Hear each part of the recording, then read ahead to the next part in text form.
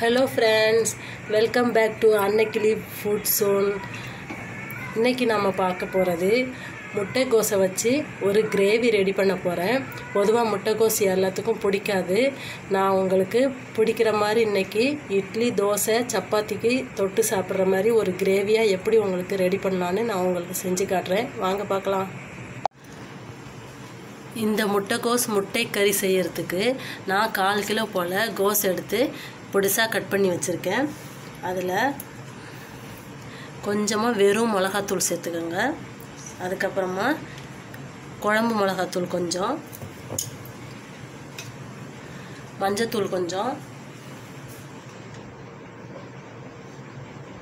கரம் மசாலா கொஞ்சம்.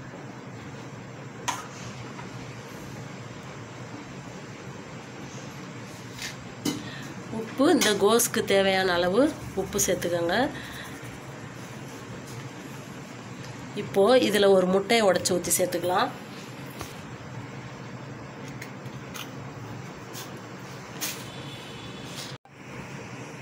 இதை பிசையறதுக்கு முன்னாடி இதில் அரிசி மாவு ரெண்டு ஸ்பூன் போட்டுக்கலாம்.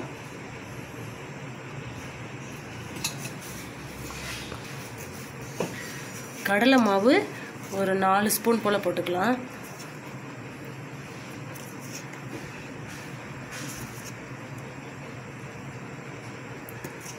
இப்போது இது எல்லாத்தையும் நல்லா பிசைஞ்சு எடுத்துக்கலாம்.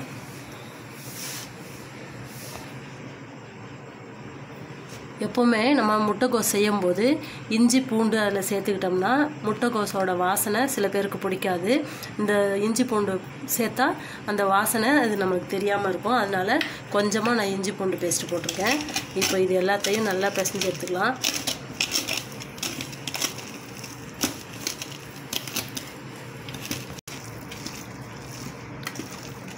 பாருங்கள் இப்போ நல்லா பிசைஞ்சாச்சு. மசாலாலாம் ஒன்றா சேர்ந்து நல்லா கலந்து வந்துருச்சு. இப்போ இதை ஒரு தோசை கல்லை சூடு பண்ணி அதை போட்டு பொரித்து எடுத்துக்கலாம். இப்போ தோசைக்கல்ல எண்ணெய் விட்டுருக்கேன்.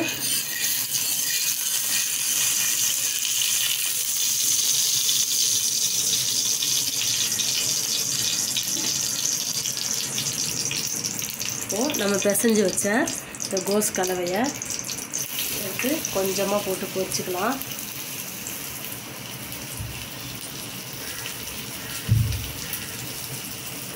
இந்த அளவு போட்டு நல்லா வெந்தோடனே திருப்பி போட்டு பொரித்து எடுத்துக்கலாம். ஏன்னா நம்ம இது எண்ணெயில் போட்டு பொரித்து எடுக்கலாம். அதுக்கப்புறம் அந்த எண்ணெயை வேறு எதுக்கும் யூஸ் பண்ண முடியாதனால இந்த மாதிரி நான் செய்கிறேன்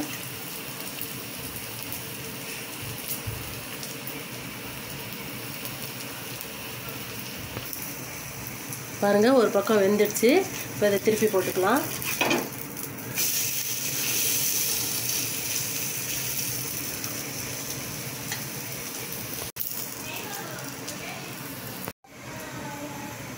இதை இப்போ இன்னொரு பக்கம் திருப்பி போட்டுக்கலாம். பாருங்கள் நல்லா ரெண்டு பக்கமும் செவக்க வந்துடுச்சு. இப்போது இதை ஒரு பிளேட்டுக்கு மாற்றிக்கலாம்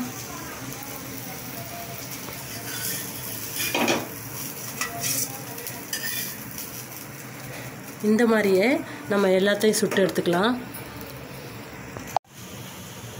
இப்போ இந்த கோஸ்லாம் சுட்டு எடுத்துக்கிட்டாச்சு.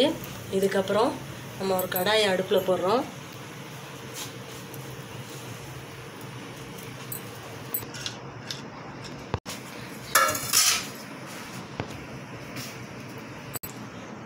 இப்போது கடாயில் கடலெண்ணெய் ஊற்றிருக்கேன் இதில் ஒரு பட்டை ஒரு கிராம்பு ரெண்டு ஏலக்காய் சேர்த்துக்கலாம். கூடவே கொஞ்சம் சோம்பு. ஜீரகம் சேர்த்துக்கலாம்.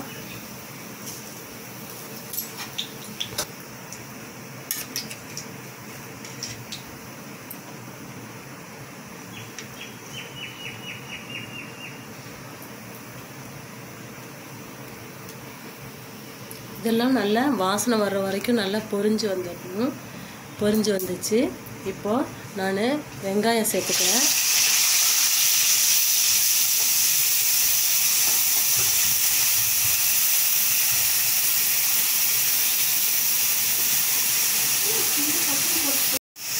அது கூடவே கொஞ்சம் ஒரு நாலஞ்சு பச்சை மிளகாயும் சேர்த்துருக்கேன் வெங்காயம் நல்லா வதங்கட்டும்.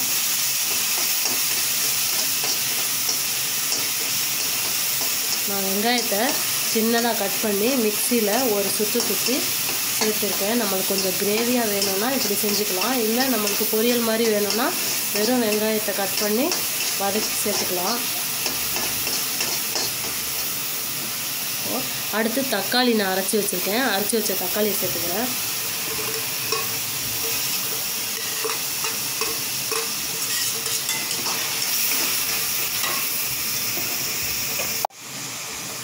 இதிலே கொஞ்சமாக இஞ்சி பூண்டு பேஸ்ட்டு சேர்த்துக்கிறேன்.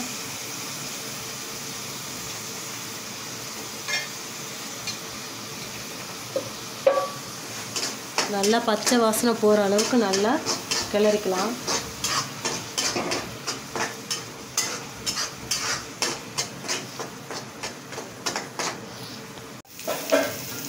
பாருங்கள் நம்ம அரைச்சி போட்ட தக்காளி வெங்காயம் உள்ள நல்ல தண்ணியெல்லாம் இழுத்து பச்சை வாசனை போகிற மாதிரி நல்லா சுருண்டு வந்துடுச்சு இப்போ நம்ம கொத்தமல்லி கருவேப்பிலை சேர்த்துக்கலாம்.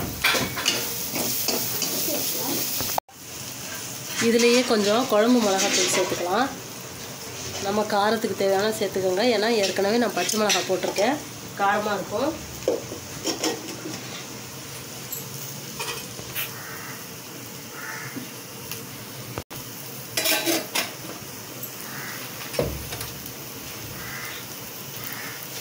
கரம் மசாலா தூள் சேர்த்துருக்கேன். கொஞ்சம் மஞ்சத்தூள் போட்டு நல்லா கிளறிக்கலாம். நான் எண்ணெய் கம்மியாக தான் ஊற்றிருக்கேன் இதில் ரோஸ் நம்ம பொரித்து எடுத்ததில் எண்ணெய் இருக்கும். அதனால் எண்ணெய் பார்த்தே சேர்த்துருவேன். இந்த தண்ணி வந்து நம்ம இஞ்சி பூண்டு தக்காளி வெங்காயம்லாம் அரைச்ச மிக்சியை கழுவின தண்ணி இது. இது கீழே ஊற்றாமல் இதில் சேர்த்துக்கோங்க.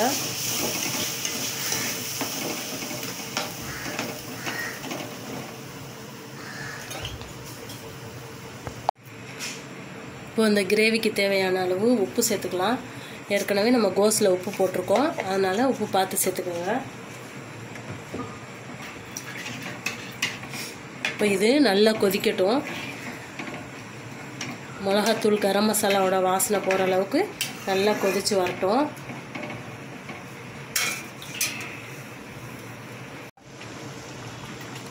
பாருங்கள் இப்போ இந்த கிரேவி நல்லா திக்காக வந்துடுச்சு. இப்போது பொரித்து வச்ச கோஸ் எல்லாம் கட் பண்ணி வச்சுருக்கேன். அதை இப்போ சேர்த்துக்கலாம் அதில்.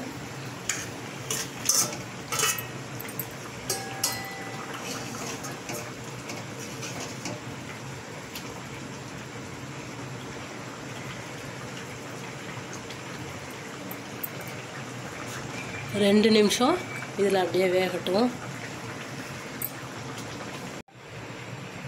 இப்போ இந்த டிஷ் ரெடி ஆயிடுச்சு. இதை இப்போ ஒரு பிளேட்டுக்கு மாற்றிக்கலாம்